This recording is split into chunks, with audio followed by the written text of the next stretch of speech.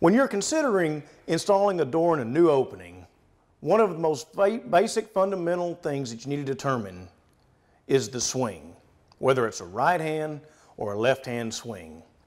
In this video, we're going to show you how to determine the swing. It is very simple. In the opening that you're, that you're going to install your door in, simply put your back up against the side that you want the hinges to be on. If the door swings this way, it's a right hand. If the door swings this way, it's a left hand. It works on either side. Put your back up to where the hinges are going to be. If the door swings this way, it's a right hand. If the door swings this way, it's a left hand.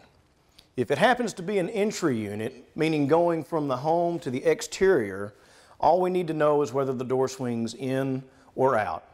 This should help eliminate confusion on determining the swing of the door for your project. Thank you for choosing Woodco Building Products.